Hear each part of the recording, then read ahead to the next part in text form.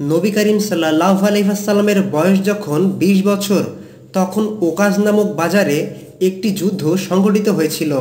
যেই যুদ্ধের নাম হচ্ছে ফিজার যুদ্ধ। এই ফিজার যুদ্ধের এক পক্ষে ছিলেন কুরাইশগণ এবং তাদের মিত্রপক্ষ বনু কিনানা, আর তাদের বিপক্ষে ছিলেন কায়স আয়লান। এই যুদ্ধ ফিজার যুদ্ধ নামেই খ্যাত। কেননা বনু কিনানাহ গোত্রের বাররাজ নামক একজন ব্যক্তি কায়স আয়লানের তিনজন লোককে হত্যা করে। এই খবর যখন ওকাশ বাজারে গিয়ে পৌঁছালো, তখন উভয় দলের লোকদের মধ্যে উত্তেজনা ছড়িয়ে পড়ল। এর ফলে যুদ্ধ বেঁধে যায়। কুরাইশ কিনানা মিত্রপক্ষের সেনাপতি ছিলেন হারব বিন উমাইয়া। কারণ প্রতিভা এবং প্রভাব প্রতিপত্তির ফলে তিনি কুরাইশ ও বনু কিনানা গোত্রের মধ্যে নিজেকে মান মর্যাদায় প্রতিষ্ঠিত করে নিতে সক্ষম হয়েছিলেন। প্রথম দিকে বনু কিনানাহ গোত্রের উপর কায়সদের সমর্থন বেশি ছিল। কিন্তু পরবর্তী পর্যায়ে কিনানাদের সমর্থন হয়ে যায় বেশি। এরপর কুরাইশদের কিছু ব্যক্তি উভয় দলের নিহত ব্যক্তিদের বিষয়ে সমঝোতা করার লক্ষ্যে সন্ধির প্রস্তাব দেন। কুরাইশদের সেই ব্যক্তিরা বলেন যে, কোনো পক্ষে বেশি নিহত থাকলে অতিরিক্ত নিহতের দিয়াত গৃহীত হবে। এতে উভয় পক্ষ সম্মত হয়ে যায় এবং তারা সন্ধি করে। সন্ধির মাধ্যমে তারা ফিজার যুদ্ধ পরিত্যাগ করে। তাদের মধ্যে পরস্পর শত্রুতা বিদ্বেষ ভুলে যায়। এই যুদ্ধকে ফিজার যুদ্ধ বলার কারণ ছিল যে, এতে নিষিদ্ধ বস্তুসমূহ এবং পবিত্র মাসের পবিত্রতা উভয়ই বিনষ্ট করা হয়।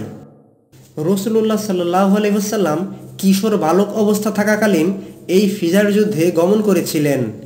এই যুদ্ধে তিনি তীরের আঘাত থেকে তার চাচাদেরকে রক্ষা করার কাজে নিয়োজিত ছিলেন। ফিজার যুদ্ধের নিষ্ঠুরতা ও ভয়াবহতা সুচিন্তাশীল আরববাসীদেরকে দারুণভাবে বিচলিত করে তোলে। এই যুদ্ধে প্রচুর মানুষের প্রাণহানি ঘটে। প্রচুর শিশু ইয়াতিম হয়, অনেক নারী বিধবা হয় এবং প্রচুর সম্পদ বিনষ্ট করা হয়। ভবিষ্যতে আরববাসীগণকে যাতে এই রকম অর্থহীন যুদ্ধে লিপ্ত হয়ে ভয়াবহ ক্ষয়ক্ষতির শিকার হতে আর না হয়, সেই জন্য কুরাইশের বিশিষ্ট গোত্রপতিগণ আবদুল্লাহ বিন জুদআন তামির গৃহে একত্রিত হয়। তারা সেখানে একত্রিত হয়ে আল্লাহ তালার নামে একটি অঙ্গীকারনামা সম্পাদন করেন। আবদুল্লাহ বিন জুদান ছিলেন তৎকালীন মক্কার একজন অত্যন্ত ধনী ব্যক্তি। এছাড়াও সততা দানশীলতা এবং অতিথিপরায়ণতার জন্য সমগ্র আরব ভূমিতে তার বিশেষ প্রসিদ্ধি থাকার কারণে আরববাসীগণের উপর তার যথেষ্ট প্রভাবও ছিল। এই প্রেক্ষিতে আবদুল্লাহ বিন জুদানের বাড়িতেই যুদ্ধের বিপক্ষে অঙ্গীকারনামা সম্পাদনের অনুষ্ঠানের ব্যবস্থা করা হয়। সেই আলোচনা বৈঠকে যে সকল গোত্র অংশগ্রহণ করে, তার মধ্যে প্রধান গোত্র ছিল Banu Hashim Banu Muttalib Banu Asad bin Abdul Uzza, Banu Zuhra bin Kilab এবং বনু তামিম বিন মুর্রাহ। বৈঠকে একত্রিত হয়ে সকলে যাবতীয় অন্যায়, অত্যাচার এবং অর্থহীন যুদ্ধবিগ্রহের প্রতিকার সম্পর্কে আলাপ আলোচনা করেন। তখনকার সময়ে নিয়ম ছিল গোত্রীয় কিংবা বংশীয় কোনো ব্যক্তি, আত্মীয় স্বজন এবং সন্ধিসূত্রে আবদ্ধ কোনো ব্যক্তি শত অন্যায় অনাচার করলেও সংশ্লিষ্ট সকলকে তাকে সমর্থন করতে হবে। এতে সেটা যত বড় অন্যায়ই হোক না কেন। এই সম্পর্কে পরামর্শ সভায় এটা স্থিরকৃত হয় যে, এই জাতীয় নীতি হচ্ছে ভয়ঙ্কর অন্যায়, অমানবিক এবং অবমাননাকর। কাজেই এই ধরনের জঘন্য নীতি আর কিছুতেই চলতে দেওয়া যেতে পারে না। এরপর তারা কিছু বিষয়ে প্রতিজ্ঞা করলেন। প্রতিজ্ঞাগুলো ছিল, এক, দেশের অশান্তি দূর করার জন্য আমরা যথাসাধ্য চেষ্টা করব। দুই, বিদেশি লোকজনের ধনপ্রাণ ও মান সম্ভ্রম রক্ষা করার জন্য আমরা যথাসাধ্য চেষ্টা করব। তিন, দরিদ্র, দুর্বল ও অসহায় লোকদের সহায়তা দানে আমরা কখনোই কুণ্ঠাবোধ করব না। চার, অত্যাচারী ও অনাচারীর অন্যায় অত্যাচার থেকে দুর্বল দেশবাসীদের রক্ষা করতে প্রাণপণ চেষ্টা করব। এটা ছিল অন্যায়ের বিরুদ্ধে সত্য ও ন্যায় প্রতিষ্ঠার জন্য অঙ্গীকারনামা। এই জন্য এই অঙ্গীকারনামা ভিত্তিক সেবা সংঘের নাম দেওয়া হয়েছিল হিলফুল ফুজুল বা হলফ উল ফুজুল। হলফ উল ফুজুল প্রতিষ্ঠার অন্য একটি প্রাসঙ্গিক ঘটনাও জানা যায়। ঘটনাটি হচ্ছে, জুবাইদ নামক একজন ব্যক্তি মক্কাতে কিছু মালপত্র নিয়ে এসেছিলেন ব্যবসা করার জন্য। এরপর আসবিন ওয়াইল সাহমি তার কাছ থেকে মালপত্র কিনে নেন, কিন্তু তার প্রাপ্য তাকে না দিয়ে তা আটক করে রাখেন। জুবাইদ নামক সে ব্যক্তি এই বিষয়টি নিয়ে আবদুদ্দার, মাখজুম, জুমা, সাহম এবং আদি এই সকল গোত্রের কাছে সাহায্য চায়, কিন্তু তার আবেদন কেউই শুনল না।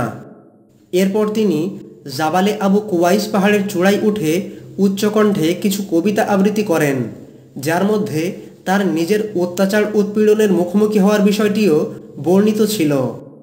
জুবাইদের এই কবিতা শুনে জুবাইর বিন আব্দুল মোত্তালিব দৌড়ে গিয়ে বললেন, এই লোকটি অসহায় এবং সহায় সম্বলহীন কেন? এরপর জুবাইর বিন আব্দুল মোত্তালিবের প্রতিষ্ঠায় সেই গোত্রগুলিকে একত্রিত করে একটি সন্ধি চুক্তি সম্পাদন করা হয় এবং এরপর আস বিন ওয়াইলের কাছ থেকে প্রাপ্য পাওনা আদায় করে নিয়ে জুবাইদকে দেওয়া হয়। এটা ছিল ফিজার যুদ্ধ এবং হিলফুল ফুজুল বা ন্যায়নিষ্ঠার প্রতিজ্ঞার অঙ্গীকারনামার ঘটনা। নবী করিম সাল্লাহ আলহাসাল্লামের বাল্যকাল, কিশোরকাল এবং প্রথম জৈবনে পেশাভিত্তিক সুনির্দিষ্ট কোনো কাজকর্মের কথা পাওয়া যায় না। তবে নির্ভরযোগ্য বর্ণনা অনুযায়ী জানা যায় যে বনু সাদ গোত্রে দুধমা হালিমার গৃহে থাকা অবস্থায় অন্যান্য বালকদের সঙ্গে তিনি ছাগল চড়ানোর উদ্দেশ্যে মাঠে যেতেন। নবী করিম সাল্লাহ আলহাসাল্লাম মক্কাতেও কয়েক কিরাত অর্থের বিনিময়ে ছাগল চড়াতেন।